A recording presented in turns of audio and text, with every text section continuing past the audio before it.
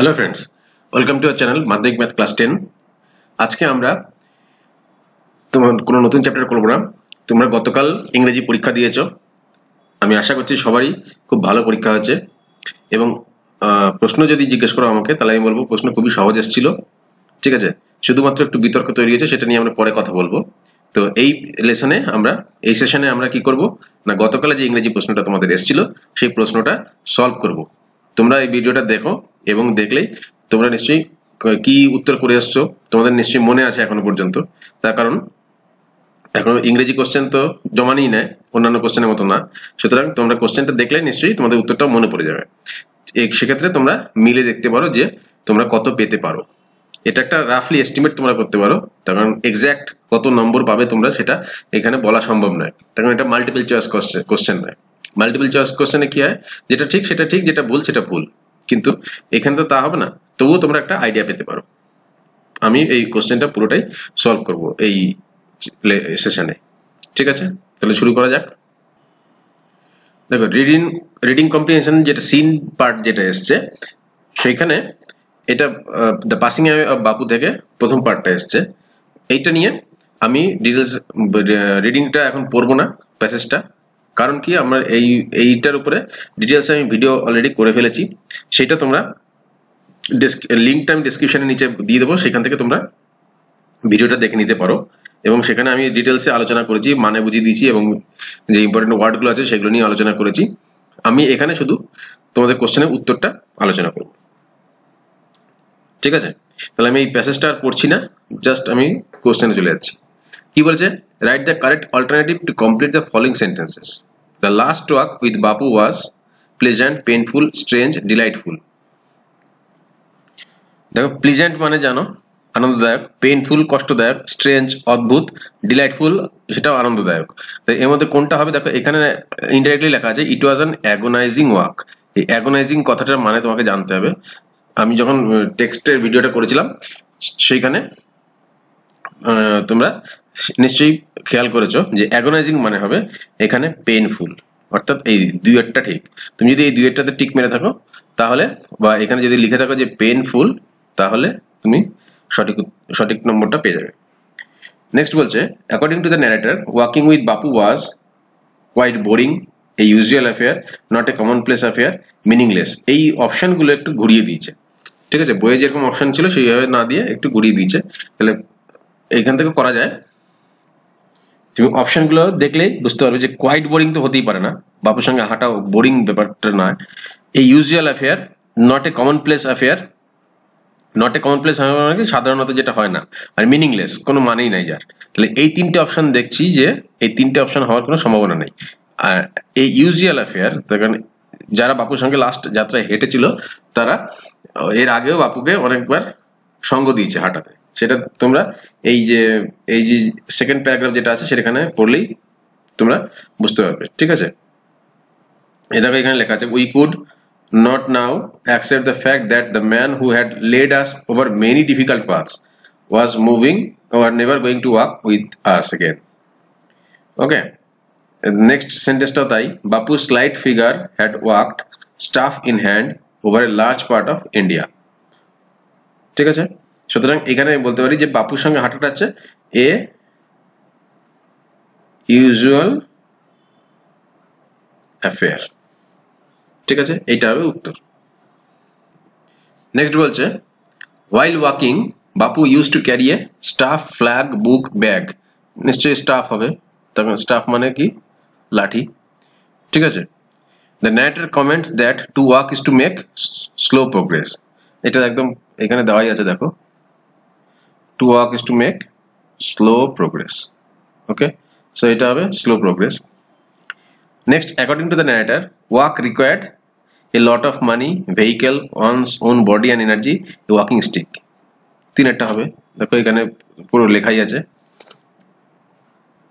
it required no vehicle except his own body and cost him nothing but his energy so one's own body and energy ঠিক আছে? Next বলছে complete the following sentences with information from the text Bapu was being carried বাপু কীভাবে নিয়ে যাওয়া ছিল দেখো, এখানে আছে। On an open truck covered with flowers এইটুকু তোমাকে লিখতে হবে। On an open truck covered with flowers next বলছে thousands of people were eager to দুই নম্বরটা thousands of people were eager to দেখো এখানে লেখা আছে thousands of people were trying to touch Bapu's feet এইটা হবে উত্তর trying to touch Bapu's feet thousands of people were eager to eager to touch এখান থেকে লিখতে পারো eager to touch Bapu's feet okay ট্রাইংটা লেখা দরকার নেই eager to touch Bapu's feet যদি কেউ এইখান থেকে লিখে থাকো। তাহলে ভাবনার কোনো কারণ নেই। তোমাকে নম্বর হয়তো পুরোটা না দিলেও কিছু নম্বর দেবে, ঠিক আছে? বা অনেক সময় পুরো নম্বর দিতে পারে। নেক্সট বলছে India's recent history was both এটা একদম হুবহু দিয়েছে। দেখো এখানে, এখান থেকে পেয়ে যাবে। Bapu over the through rough and smooth of India's recent history so India's recent history was both rough and smooth তোমাকে ওইটা লিখতে হবে। এটা হচ্ছে তোমার লেখা rough and smooth okay next বলছে fill in the chart information from the text statement reason ঠিক আছে? স্টেটমেন্টে তোমাকে লিখতে বলেছে রিজনটা বলেছে দ্য ক্রাউড ওয়াজ থিক তার ফলে কি হয়েছিল? অ্যাকচুয়ালি এটা স্টেটমেন্টের বদলে এটা হওয়া উচিত ছিল এফেক্ট ঠিক আছে? আর এফেক্টটা পরে হওয়া উচিত। রিজেন্টটা আগে হলে রিজেন্টটা দেওয়া উচিত এইদিকে এফেক্টটা দেওয়া উচিত এইদিকে। আর এটা স্টেটমেন্টের বদলে যেটা লেখা উচিত ছিল এফেক্ট যাই হোক, আমি কোনো প্রশ্ন তুলছি না। যারা কোশ্চেন করেছেন তাদের উপরে। কিন্তু অ্যাকচুয়ালি এটা দিলে বোধহয় বুঝতে আর একটু সহজ হতো। তো যাই হোক কোশ্চেন যখন এসছে তখন তো উত্তর তো করতেই হবে। দ্য ক্রাউড ওয়াজ থিক তার ফলে কি হয়েছিল? দেখো এখানে লেখা আছে it was impossible to move in the thick crowd so in the thick crowd এটা হচ্ছে রিজন তাহলে তার এফেক্টটা কি হয়েছিল? It was impossible to move তাহলে তোমাকে এটা লিখতে হবে যে it was impossible to impossible to move. Okay. Next বলছে, walking is making slow progress. Reason because, দেখো এখানে দেওয়া আছে, ওই যে টু মেক স্লো প্রোগ্রেস তারপরে সেন্টেন্সটাই হচ্ছে because it is to think with clarity and closely look at all that is around you from small insects so এইটুকু লিখলেই যথেষ্ট। It is to think with clarity and closely look at all all that is around you এটুকু লিখলে যথেষ্ট। তুমি যদি এটা UK change না করে, এটা অ্যাকচুয়ালি ইউকে চেঞ্জ করা উচিত। ইউকে চেঞ্জ করে অল অ্যারাউন্ড আস লেখা উচিত। ঠিক আছে? যেহেতু তুমি কোশ্চেনের উত্তর লিখছো, তাহলে তোমার লেখা উচিত it is to think with with clarity and closely look at all that is around us এটা হবে তোমার উত্তর। ঠিক আছে? এটুকু লিখলে তুমি ফুল নম্বর পেয়ে যাবে।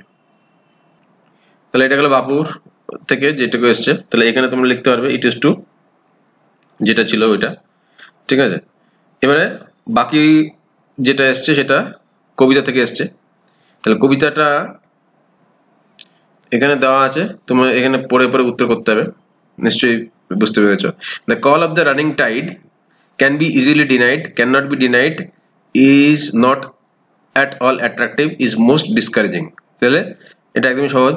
Is a wild and clear call that may not be denied এখানে লেখা আছে that may not be denied so can not be denied এটা হবে উত্তর।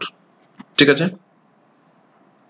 হচ্ছে the poet would like to hear the cry of the nightingale skylark cuckoo seagull দেখো এখানে লেখা আছে দেখো এখানে দেখা যায় and the seagulls crying so এখানে কি হবে না seagull The poet likes to lead a gypsy life because it is a carefree life full of adventures, full of responsibilities, full of luxury, dull and uninteresting.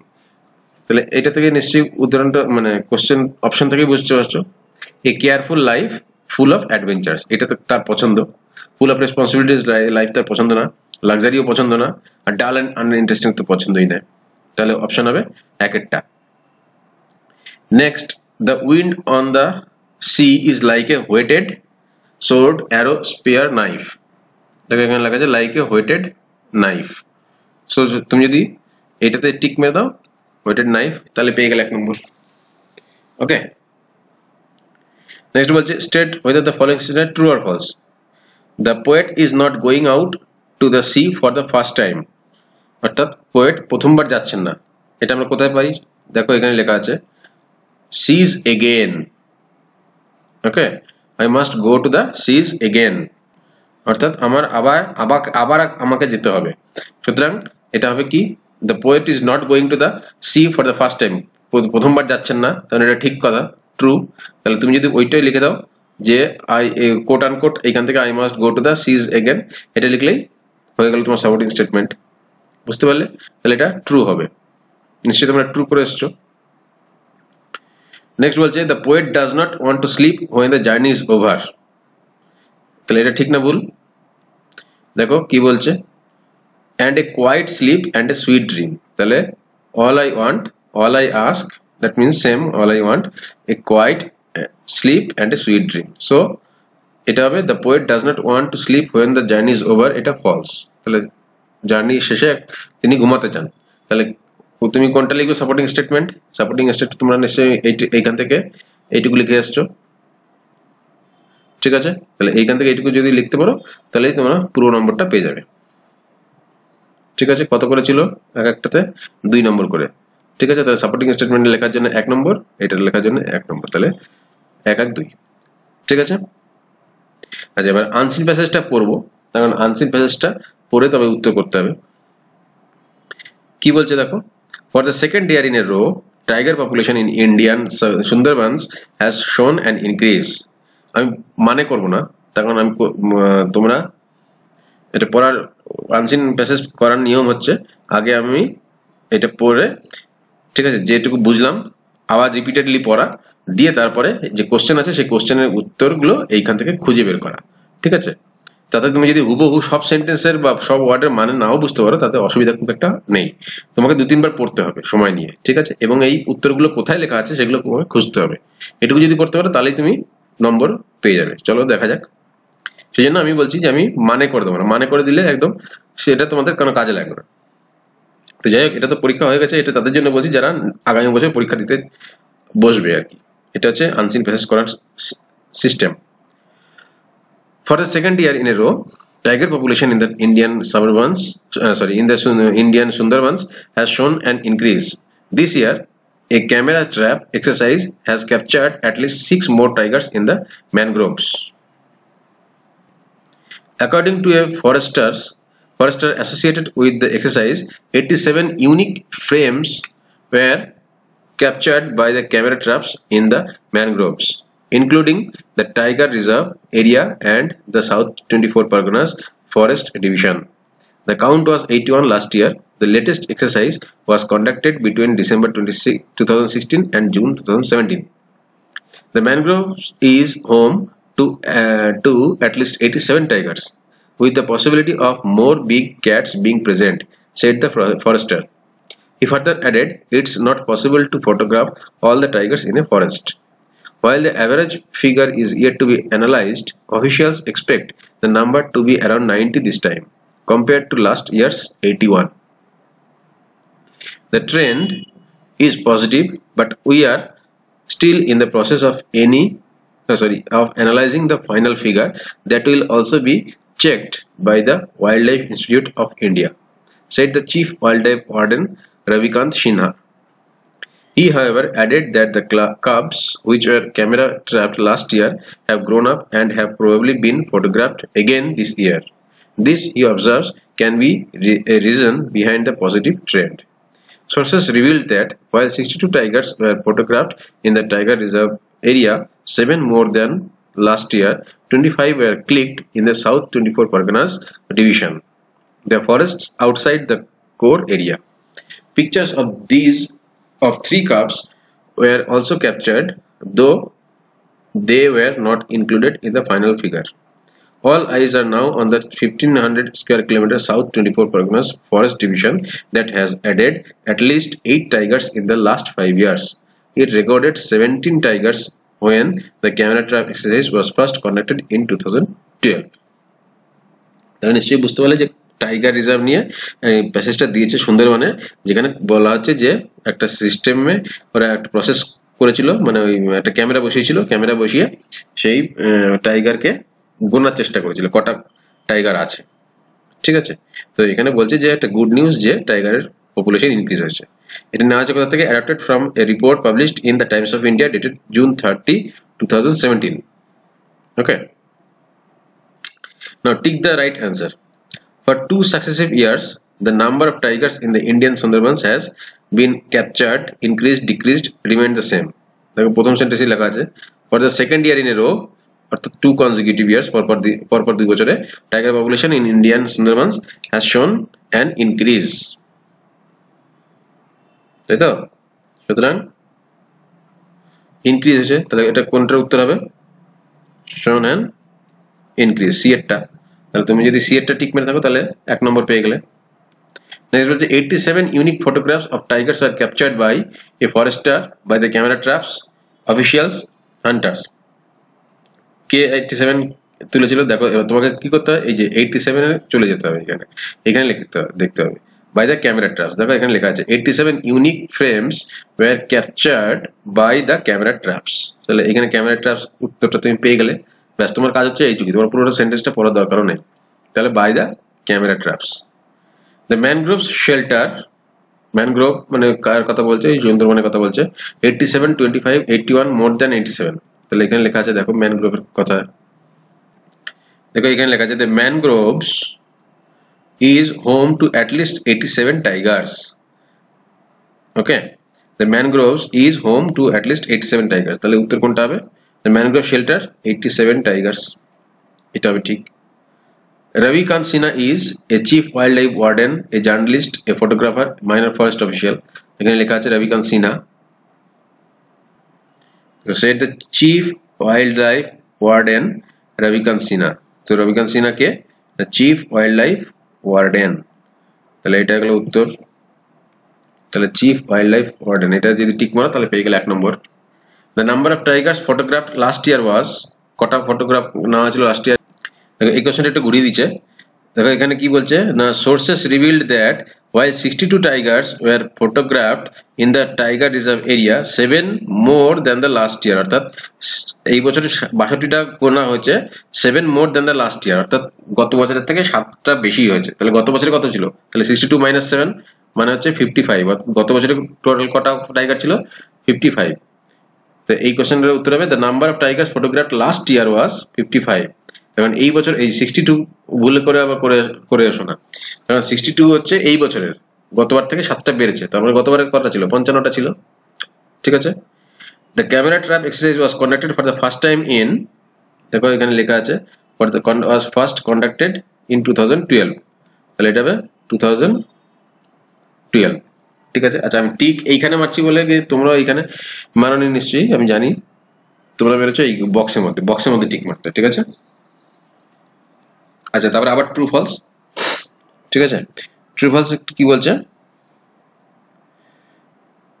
The camera traps were laid only in the forest division of south twenty four Parganas শুধুমাত্র south চব্বিশ পরগনার forest ডিভিশনের মধ্যে camera ট্র্যাপটা রাখা হয়েছিল।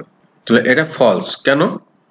দেখো, এখানে দুই নম্বর প্যারাগ্রাফে লেখা আছে যে eighty seven unique frames were captured by the camera traps in the in the mangroves, including the tiger reserve area and the south 24 Parganas forest division অর্থাৎ ম্যানগ্রোভের মধ্যে রাখা ছিল, সমস্ত জায়গায় লেখা, রাখা ছিল ঠিক আছে?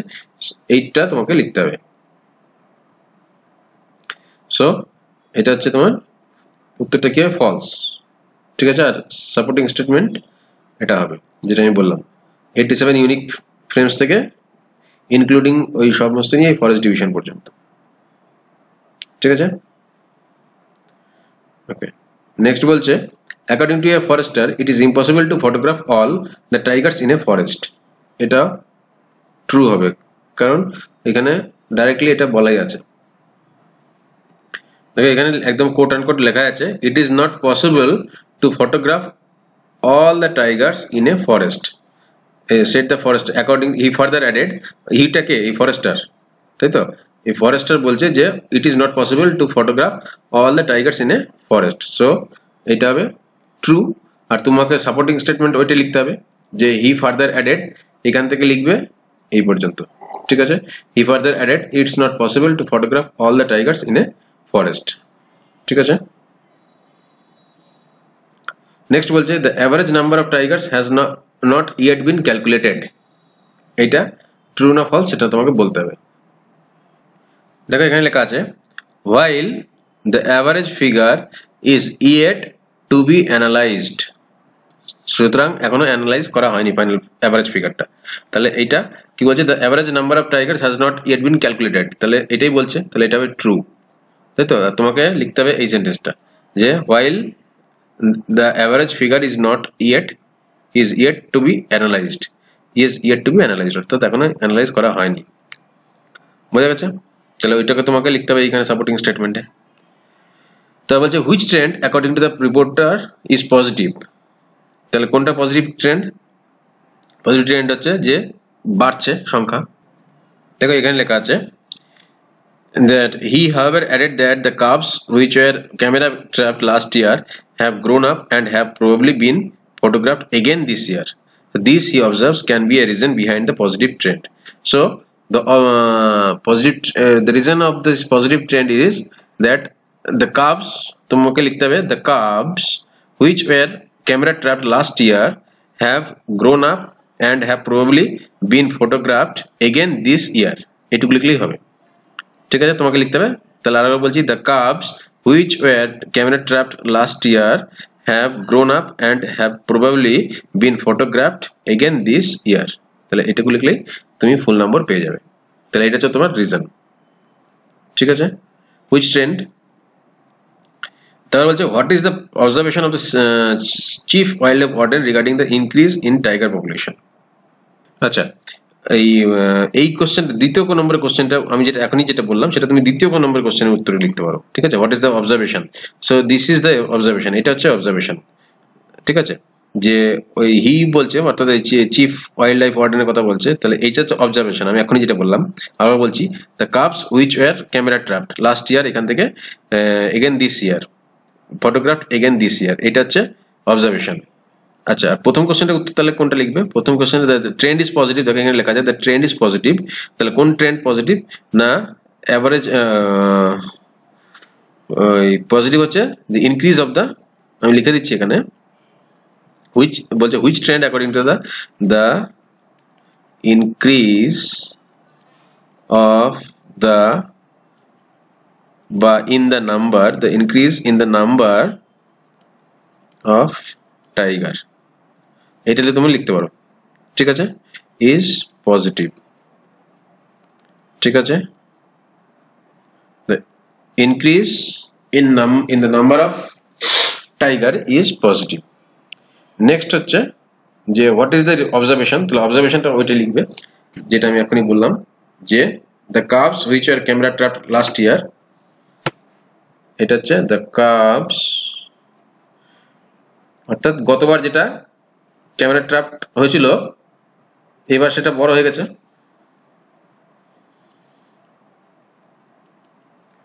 ক্যামেরা ট্র্যাপড এটা থেকে ওইখান থেকে লিখবে। ঠিক আছে? নেক্সট বলছে how many tigers were clicked in the tiger reserve area and how many in the forest outside the core area এটা একদম হুবহু লেখাই আছে। দেখো এখানে লেখা আছে sixty two tigers were photographed in the tiger reserve area, seven more than the last year. 25 were clicked in the South 24 Parganas division, the forests outside the core area. এইটুকু অর্থাৎ সিক্সটি টু টাইগার্স থেকে এই core area এই পর্যন্ত তোমাকে লিখতে হবে ঠিক আছে তাই তো কোশ্চেন করেছে আউটসাইড দ্য কোর এরিয়া হ্যাঁ সো তোমার উত্তরটা হবে একদম হুবহু এই সিক্সটি টু টাইগার্স থেকে এই কোর এরিয়া পর্যন্ত। তুমি যদি লিখে দাও, তাহলেই হবে। নেক্সট বলছে state the number of tigers added to the tiger population in the last five years in the south twenty four Pargana forest division অর্থাৎ গত পাঁচ বছরে কত? State the number of tigers added গত পাঁচ বছরে কত? অ্যাড হয়েছে in the south twenty four Parganas forest division এখানে লেখা আছে south twenty four Parganas that has added at least 8 tigers in the last 5 years. So এটা উত্তর হবে at least 8 tigers in the eight tigers in the last five years এর added তোমাকে লিখতে হবে, যে eight tigers were added to the tiger population ঠিক আছে? তোমাকে এইটুকু বদলে তুমি যদি লিখে দাও eight tigers were added to the tiger population in the last five years in the 24 in the south 24 Parganas forest division. তাহলে হয়ে গেল, তুমি পেয়ে যাবে কত নম্বর? এটাতে কত আছে? দুই করে। তাহলে এটাতে তুমি পেয়ে গেলে দুই নম্বর। ঠিক আছে? তাহলে তোমাকে জাস্ট লিখতে হবে eight tigers were added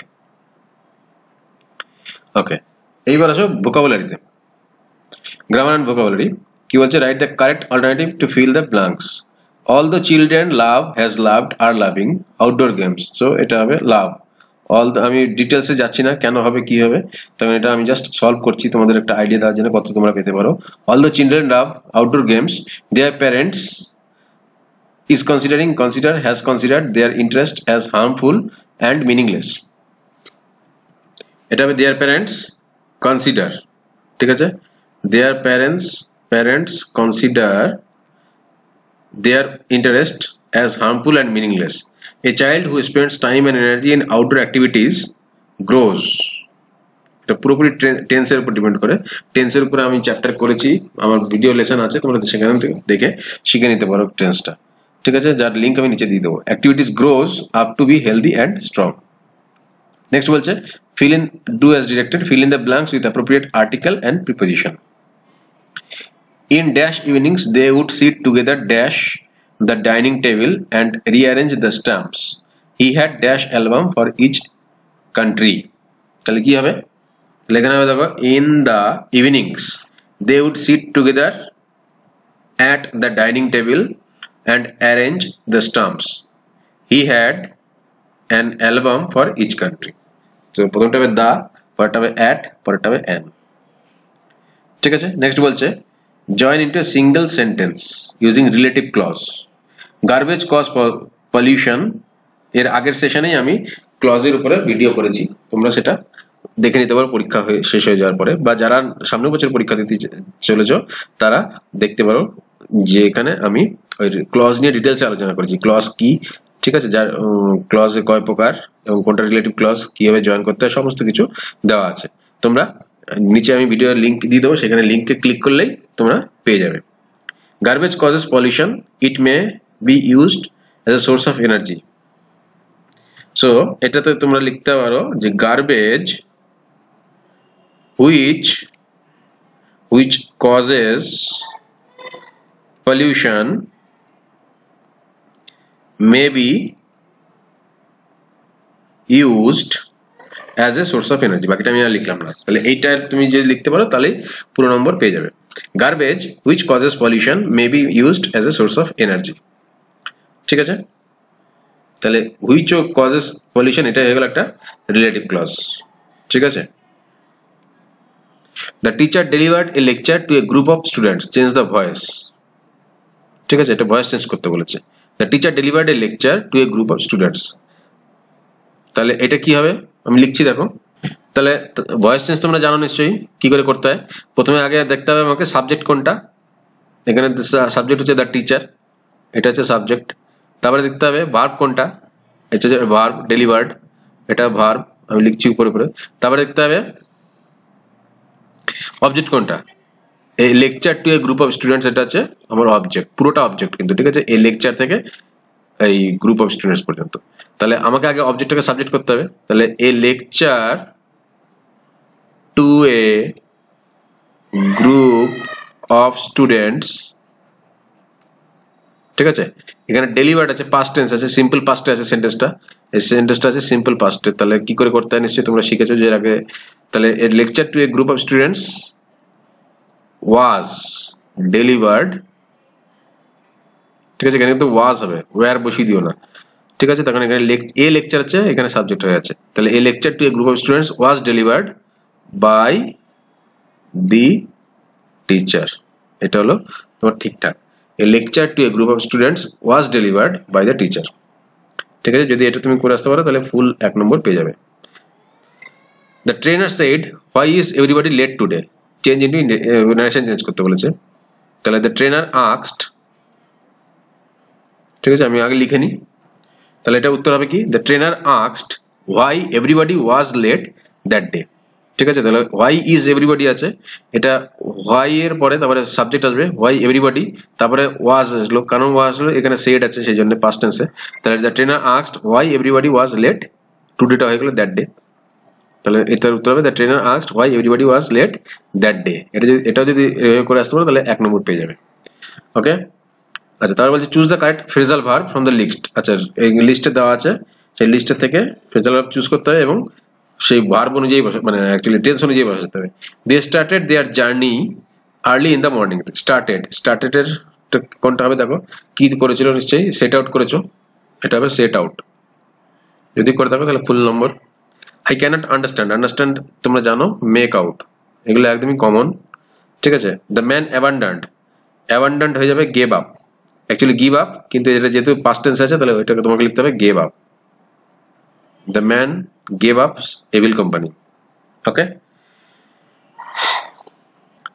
তারপর বলছে দেখো given below are the meanings of four words which you will find question number three তোমরা যখন প্র্যাকটিস করেছ নিশ্চয়ই এইগুলো কোশ্চেনের এসছো অনেক অনেক পেয়েছ। অর্থাৎ এই যে চারটে ওয়ার্ড দেওয়া আছে, এই চারটে ওয়ার্ডের মানে আছে অ্যাকচুয়ালি এই চারটে ওয়ার্ড কোনগুলোর মানে সেটা তোমাকে খুঁজে বের করতে হবে আনসিন প্যাসেজ থেকে। তাহলে রেকর্ডেড ইন ক্যামেরা তাহলে এটা হবে ক্যামেরা ট্র্যাপড ঠিক আছে? না, তোমরা ক্যাপচার ক্যামেরা ট্র্যাপ না লিখে লিখবে ক্যাপচার দেখো এইখানে ওয়ার্ডটা আছে ক্যাপচার্ড এটা আরও মোর পারফেক্ট ঠিক আছে? তাহলে এখানে হবে তোমাদের ক্যাপচার্ড